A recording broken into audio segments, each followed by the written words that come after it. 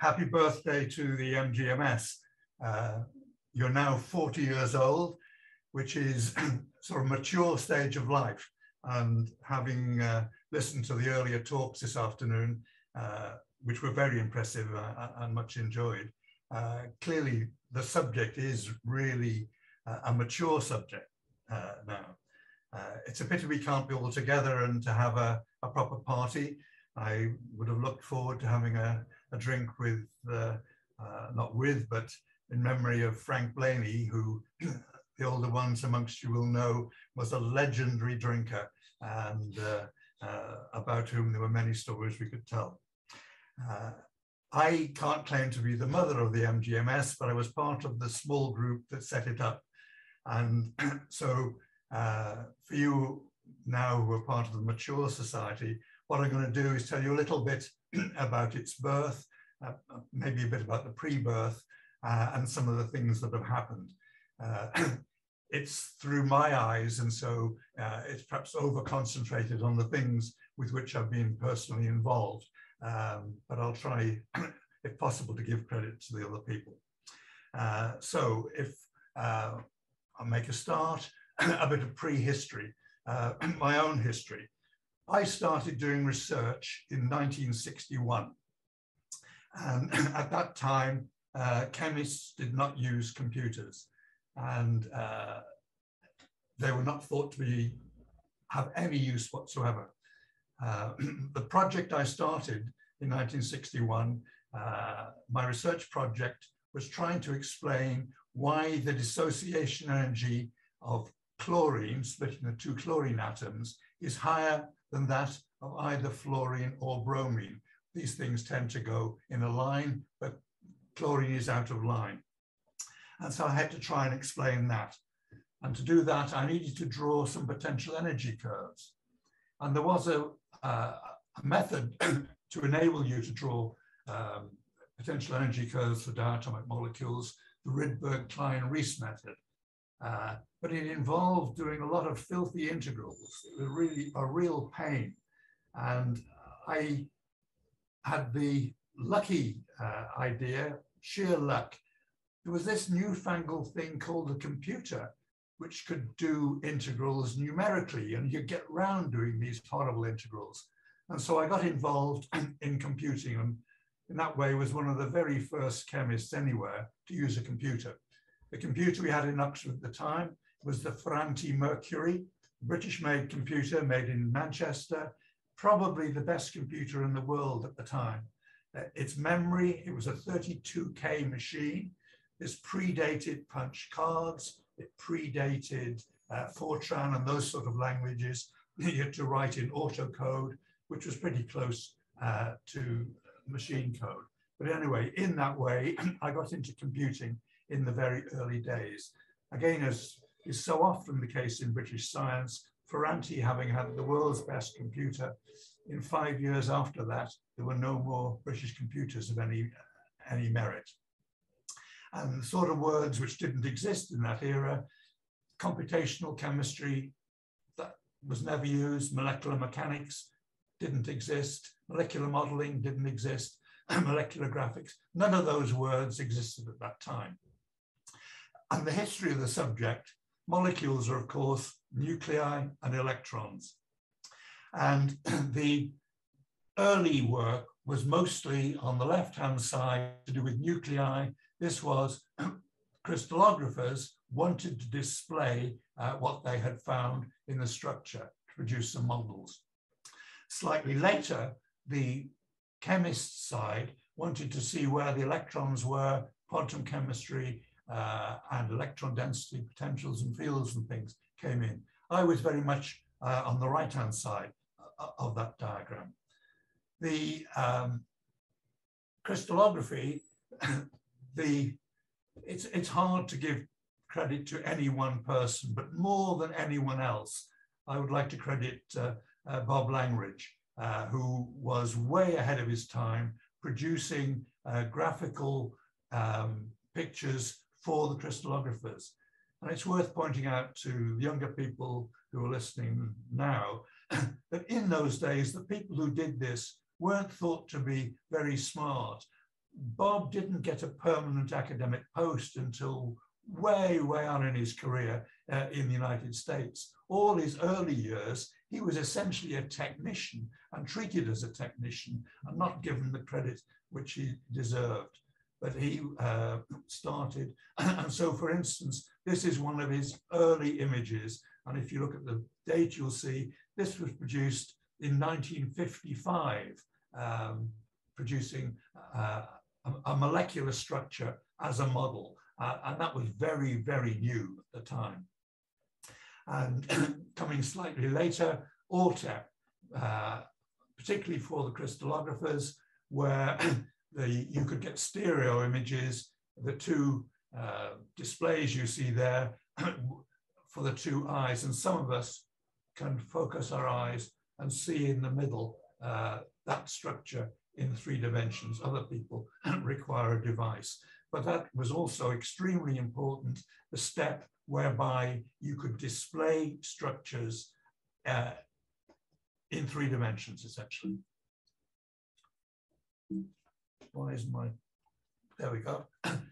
this is the sort of uh, picture that the crystallographers in the area uh, around 1970, they produced um, pictures of molecules with the uh, uh, software Pluto. Uh, later in that decade, Alwyn Jones, who worked in, uh, in Sweden, produced Frodo. And Frodo was the standard package used by crystallographers uh, to display their structures. Moving now more towards the chemical side, uh, one of the early steps was producing so-called Connolly structures, treating each atom in the molecule as a sphere of an appropriate size and getting a shape of the overall molecule. Because by this time, people were moving into thinking in the way that many of you who are muching and working in this field today are, that much of what we do, and my graduate students always used to take the mickey out of me, I was always having a binding site and a protein and a little molecule fitting and those shapes. Uh, this uh, Connolly surface did cause a lot of trouble. Bob, Bob Langridge actually believed he'd invented it. Uh, I looked into this because Bob even wanted to have a court case about it and bombarded me with mountains of uh, copies of papers to prove that Connolly hadn't produced the Connolly surface. In fact, when I looked into it, uh, Fred Richards, who's no relation to me, just the same name, was probably the chap who deserved the credit. But this is moving now into slightly more biological things. Why is my thing not? Okay, so the move into um, computational chemistry, and in particular, the big step moving this into pharmacology and biology. Um, again, uh, bragging slightly, I was one of the very first people to do that, not because I was wise and thought, ah, young man, that's the way to go. What actually happened to me in those days, I still worked on with ab initio uh, molecular orbital calculations on diatomic molecules. And in particular, I was the world's expert on spin orbit coupling, which no one's interested in at all. But I was a, a theoretical chemist using a computer. And so out of the blue, I got a letter uh, with a paper sent to me by Jim Black, later Sir James Black, who had discovered the uh, uh, beta blockers for ICI. And his, uh, he was a pharmacologist um, and very much started off with the idea um, the chemical transmitters, noradrenaline, must work by going and binding in a binding site of a protein. So if you took the structure of the noradrenaline and gradually altered it, you might find a molecule that went into the site for noradrenaline and got stuck there and blocked the signal. And that's how Jim found the beta blockers and made billions for ICI. ICI then said to him, or rather, Jim said he wanted to move on from uh, producing beta blockers to try to find something which would block the H2 activity of histamine in the gut. And uh, none of this I knew anything about at all. But Jim sent me a paper um, showing uh, some, some very crude theoretical calculations indicating that histamine, which is uh, drawn on the slide, exists in two conformers. And since at that time there were thought to be two activities of histamine, H1, the thing that causes hay fever uh, and your eyes to water, but more importantly, for something for which there wasn't a blocker, the H2 receptors in your gut, and blocking them would cure stomach ulcers. I looked at this paper and sent it back to Jim and said, no, the paper is crap. You don't need to do any uh, theoretical calculations to see that histamine is a 1,2 disubstituted ethane. and so there are trans and gauche forms. You don't need to do any theory. Uh, but nonetheless, the theory could be right. Uh, so he called me to see him and explained that he'd already spent many millions and not found a single molecule to block the H2 receptor. Um, but um, what I suggested was that uh, he should make, uh, and his chemist in particular, Robin Ganellin, uh, who was a distinguished medicinal chemist, made a number of methyl substituted histamines. I calculated um, with molecular mechanics the ratio of the populations of the two forms, and then we would see whether that paralleled the ratio of activities between H1 and H2.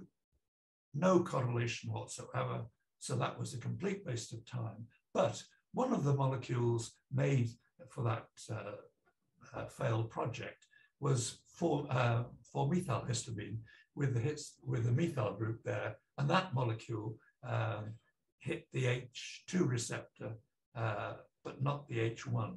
And out of this, in the end, came uh, cimetidine, tagamet, and ranitidine, both of which contained that methyl, methyl group. but getting involved in that part of, sort of work meant pushing me, uh, first of all, to have to learn and get more and more involved in applying modeling and theoretical calculations in the pharmaceutical world.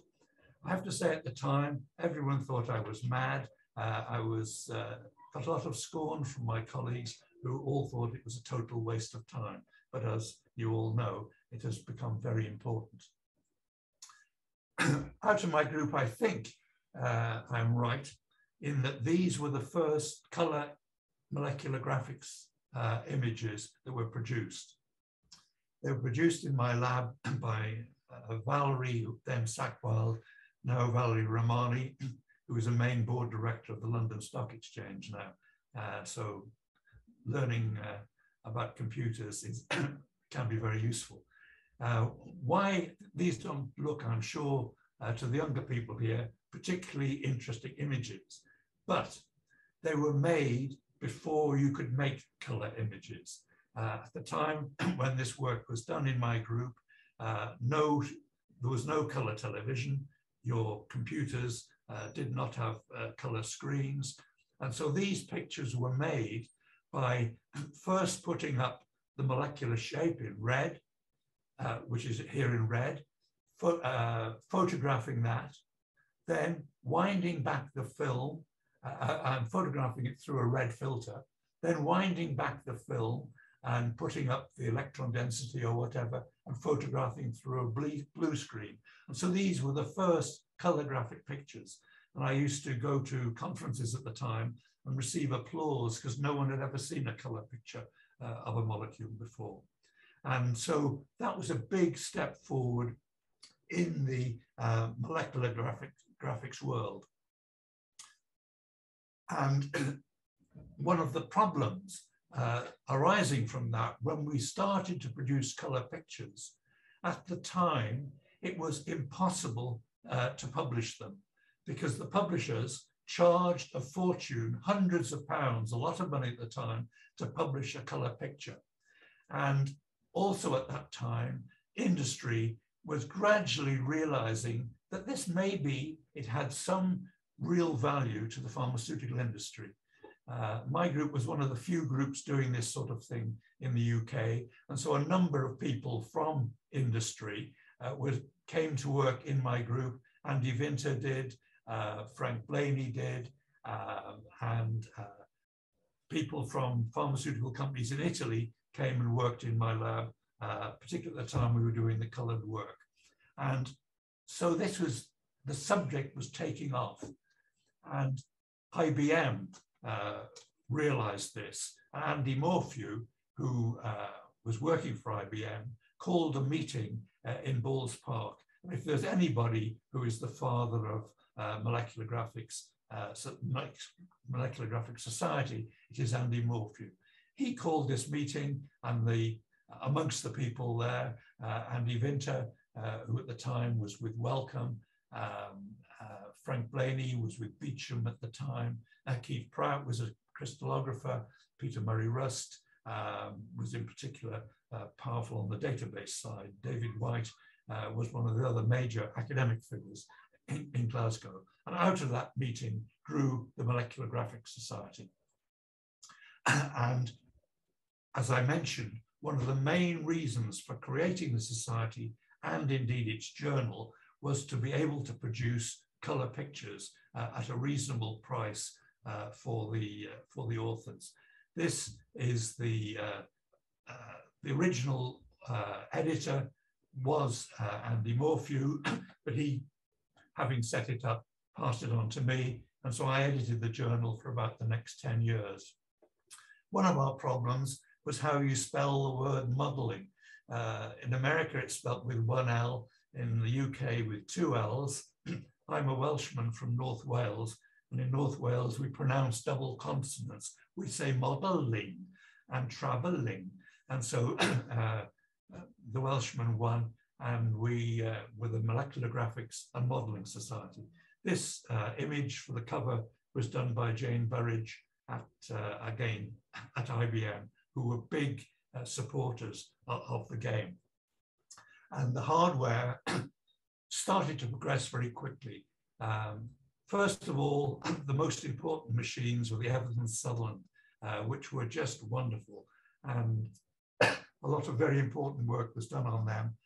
And they were vector graphics. They worked by pr producing a vector which produced the color point. Then later, uh, we got raster graphics, VAX, silicon graphics, and finally PCs. And that's when, of course, the subject really took off because everybody could do it. You didn't need a very expensive special machine.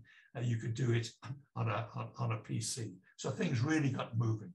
And the some of the people involved in that those early days, uh, Arnie Hagler with molecular mechanics, quantum mechanics, Peter Kollman in uh, UCSF and Martin Karplus at Harvard, Peter Willett uh, and me worked on uh, uh, similarity, Paul Bamber and others on homology modeling, Peter Murray Rust databases, um, Dick Cramer with 3D QSAR, and Johnson on the synthesis. So the subject really took off with the new journal and things. And the software, initially Hydra, produced by Rod, Rod Hubbard, and ChemX, uh, produced by Keith Davis in Oxford was the most used piece of software. And so at that time, companies started to be set up. Uh, Tripos by Garland Marshall uh, in the US, Chemical Design by uh, Keith here, uh, Biosim with Arnie Hagler, Oxford Molecular uh, set up by me and Tony Marchington. I'm going to make a, a slight digression, digression here um, just to explain to the younger people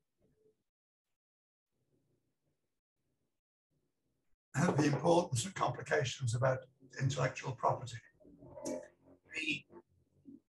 Uh, when I was first appointed as a lecturer in Oxford, the university, uh, I could do work in the lab using university equipment, university technicians, university um, chemicals. The university neither knew nor wanted to know about the intellectual property. It was all mine. And indeed, that was the case when Keith Davis set up uh, chemical design. He went to the university and they didn't want to know, so he had the whole company. Um, why was the university so generous about intellectual property? Well, it goes back to the end of the First World War. when the government was worried about feeding the population. And so they caused Oxford to set up uh, a department of agricultural engineering. And they put one of their own people, a man called um, Professor Owen, like me, a Welshman, but he must have come from South Wales because he was actually a crook. And uh, he patented a machine to get sugar out of sugar beets. Unfortunately, it didn't work unless there was someone round the back shoveling Tate and Lyle into it. Uh, the university licensed this machine to the, one of the big Italian food companies who discovered that it was a, uh, uh, it was a fake. And uh, rather like the case that's going on uh, in California at the moment, the university was sued in 1923 for 750,000 pounds, which was an enormous sum of money at the time. The case went on until the late 30s. The university got away with about 75,000 pounds, but because of that, they didn't want to know anything about intellectual property. In 1942, um, the next part of this story, again about food, Britain was in danger of starving because of our ships being sunk in the Atlantic. America not come into the war, France had fallen. And uh, Churchill met with Roosevelt and they set up the so-called Lend-Lease Agreement, whereby the Americans gave us 50 ships so we could bring in some food. We gave them permanent leases on bases in the West Indies, hence it was called the Lend-Lease Agreement. But also, and most people don't know this, we agreed in the Lend-Lease Agreement not to patent radar, the jet engine, and penicillin. So we gave away billions and billions for those ships, not because we were stupid, all those uh, inventions uh, had strategic importance in the war, obviously radar and the jet engine. Uh, but when the troops landed on the beach at D-Day, they all had penicillin in their helmets because Florey and uh, Chain had flown over from um, uh, the UK with the penicillin spores dusted on their clothes in case they got shot down and dusted them off in America, gave it to the Americans. And Heatley, uh, the then technician, but real star turn in that group, found a little agricultural, obscure little agricultural company uh, to uh, do the uh, um, synthesis. Uh, that company was called Pfizer. And uh, so we gave away billions and billions and billions. So when the Attlee government came to power in 1945, they realized that we, we had been rather stupid about intellectual property. And so they set up the National Research for Development Corporation, the NRDC. And the NRDC owned all the intellectual property of any research done with government funding, which essentially meant virtually everything done in universities. Um, the NRDC later changed its name to BTG. And I used to go to lectures given by them in the mid 1980s. And they would put up a slide which had profit going up the y axis, time on the x axis from 1945 through to 1985. And it went up and up and up. And people used to clap here was a nationalized industry which was making a fortune. However, if you just took two patents out of the NRDC's portfolio, the cephalosporins, which came out of Oxford, and the pyrethroids, which came out of Rothamsted, this graph went down and down and down. The NRDC were bloody awful. And so uh, for instance, they decided that the, that the hovercraft wasn't worth patenting. Silly, but not all that crucial. But also, uh, in the mid 1980s, when we had Mrs. Thatcher as Prime Minister, the only Prime Minister ever who understood anything about, about this sort of thing, the NRDC decided that monoclonal antibodies weren't worth patenting, and again gave away billions. So Mrs. Thatcher put the skids under the NRDC gave the um, intellectual property, which is what now obtains, anything you do in university with uh, backed by government funding, the intellectual property was given to the universities, providing they set up a mechanism to exploit it. Well, I was much involved in this and uh, uh, set up what is now called um, the uh, Oxford University Innovation. And the first company we set up uh, was Oxford Molecular. And that, in a slightly, you may think this slightly bizarre, we had a meeting of the uh, Molecular Graphics and Modeling Society here in Oxford uh, in 1988, organized by me and Frank Blaney. And I can't remember whether I was giving a talk or being the chairman, but at the time my wife was uh, extremely uh, very ill in hospital.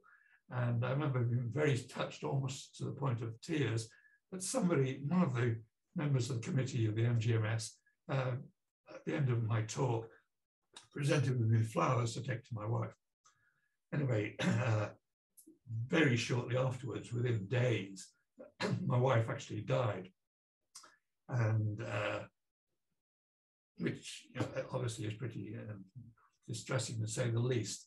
But what I did as a result of that, um, the day after her funeral, I rang up Tony Marchington, who'd been a pupil of mine uh, and was something, a considerable entrepreneur, and uh, said to Tony, uh, and this was really done as therapy for me to keep me busy. Uh, you know that company we've talked about for years, let's bloody well do it. So we set up um, uh, Oxford Molecular. We got uh, 350,000 pounds of venture capital, quite hard to uh, do much with, but Tony was a, a, real entrepreneur. As some of you will know, while he was my graduate student, he part wrote a film script about C.S. Lewis and was paid £3,000 for doing so. And uh, that was quite a lot of money for a graduate student in around about 1980. Uh, but what did he do with the money? He went out and bought a steamroller. I thought, you know, the boy has gone off his head until I discovered that he took his steamroller to steam rallies uh, over the weekends in the summer was paid 250 pounds in wet pound notes to take his steam engine along. And this was just at the period when companies were starting to get interested in uh, molecular graphics modeling uh, and uh, computational chemistry. And so, uh, although ICI at the time, it was there was a recession, they had a no hiring policy. They hired Tony when he finished his DPhil with me. Uh, and he was the first person in ICI to do this sort of thing. Uh, and they, although they um, had a no hiring policy, they gave him the biggest starting salary they'd ever given anybody at, at that stage of their career. So what did Tony do with that? Uh, he went to the bank, borrowed £35,000 and bought a pair of steam ploughs, bloody brake steam engines that pull a ploughshare between them, and took them to steam rallies. Uh, but being Tony, he thought, well, if they're making so much money out of their steam rallies, uh, they must be doing better themselves. So age 24, six months into his first job at ICI, he organized his own steam rally and made 48,000 profit in a weekend and set up a company to run steam engines. By the time my wife died, he'd left ICI and was just running a steam engine business, rather profitably.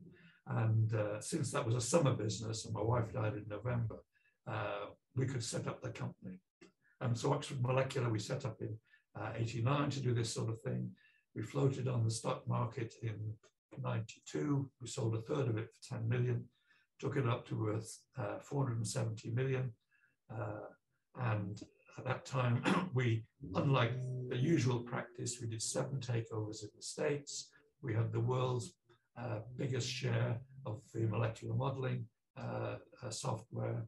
Um, and we took it up to worth 470 million, screwed it up and sold it, uh, sold it for 70 million. But by this time, um, molecular graphics modeling was becoming a real commercial venture. And the uh, people who were doing this, um, perhaps the leading light was Peter Gund at, at Merck, who was uh, very much ahead of other people, Tony at ICI in 1982. And by that time, the big pharma groups gradually uh, got involved in this, hired people, and then smaller groups uh, started all over the place. Uh, energy calculations uh, were being done, quantum mechanics, molecular mechanics, DFT force fields, Monte Carlo, molecular dynamics, the things which uh, I am pleased to see are still going. Uh, but now, of course, you have uh, artificial intelligence and machine learning uh, making the whole field even more exciting uh, than it used to be. Virtual, virtual reality uh, was, was also brought in, particularly by Mike Hann at GSK and, and Mike Pique at, at, at UNC, then Scripps. Um, one of the things that I did, which I think had a bit of influence in this, was to bring modeling to the masses. Uh, in 2001, I started a screensaver project. I'd actually stolen the idea um, from SETI, the, as you may know, as we sit here on the earth, uh, all at every moment of time, from all directions, radio signals come in and hit us. And these can be recorded and you can produce a simple piece of software to see, is this signal noise or, or is, it a, is it ET sending us a signal? And some bright young guys, uh, you could of course waste an awful lot of computer time, as has been wasted on that, analyzing these signals for years and years and finding nothing. so the bright guys at Berkeley came up with a scheme to put the software which tests whether the signal is noise or uh, uh, an intelligence signal uh, in a, into a screensaver and then get people around the world to put it on their PCs. I stole the idea and we changed it so that you got um, uh, sent out uh, in the screensaver a very crude way of calculating the binding energy between uh, one of our database of small molecules, uh, this done with Keith Davies's software, and uh, a database of, literally billions of molecules to be sent out. and we had uh, three and a half million people around the world who took on the screensaver. And this is what it looked like. Uh, on the left, there was the current protein target, and then whichever molecule you were uh, uh, sent out was uh, shown and we got, uh, we sent out the things many times to avoid hackers um, uh, cheating. Uh, in a, initially, we uh, uh, had prizes, um, but it wasn't necessary. It really took off. Um, and initially, all the targets were uh, cancer targets, and we were backed by the US National Foundation for Cancer Research. Uh, but also the initial cancer work was funded by Intel. And then, um, again, you will remember uh, now 20 years ago, uh, when after 9-11, uh, uh, which everyone does remember, many people have forgotten that within weeks of 9-11, uh, Washington was shut down because people were sent by some terrorist anthrax in an envelope. And so uh, the, cap, the Capitol building had to be shut down. Absolute chaos. So it was clear that anthrax, which is pretty easy to produce, is a very serious uh, bioweapon. and of course, the pharmaceutical industry aren't interested in that because and if it's not used, they'll never make any money. And so we uh, took on the anthrax project funded by IBM uh, and gave the results uh, to the US uh, Department of Defense. and then later did a similar problem uh, project uh, on smallpox. And as I said, we had three and a half million people around the world uh, working on this. Uh, it's no longer necessary. Um, we had, for that project, I had more computer power than all the world's major pharmaceutical companies put together for that sort of calculation. Um, and uh, it got a, a, lot of interest. And one reason we uh, packed it up uh, was that uh, cloud computing came along, so you can get lots of time without needing. Uh, and it's Garrett who's helping me here who introduced that to my research group. but also another reason um, we gave up the screensaver project. Uh, I was getting literally thousands of emails from people all over the world saying, my mother has just been diagnosed by, with breast cancer, and I think taking part in this project is so important. The sort of letters, uh, emails to which you felt you had to send a reply. Um, you can manage hundreds, but not thousands. But anyway, in this way, um, molecular modeling and graphics was spread to the knowledge uh, of lots of people, even including some politicians. And so molecular graphics produced lovely, lovely pictures and uh, uh, with which you're all familiar and uh, uh, you all have your own favorites. Uh, but it is a very beautiful subject. but I, we must remember these are only molecules, it's not the real thing. So I'm going to leave you with the wit uh, an artistic skill uh, of Mike Hann, who I believe, I, I think is probably in the audience, unless he's got so bored with me, he's already left. Uh, but he produced this uh, lovely thought, um, uh, his version of Magritte. So once again, happy birthday, Molecular Graphics Society. The subject has grown to be international, worldwide, extremely important. And the opportunities which artificial intelligence and uh, machine learning now offer. I mean, one can not unrealistically think that the day will come when all we need is a gene sequence and we'll plug that in and get out the appropriate uh, protein structures and the molecules from an enormous, enormous database will fit those sites. It's a, the subject has had a very interesting past, which I've uh, been happy to play a part in. Uh, and I'm sure all of you will have very important and exciting futures. Thank you all.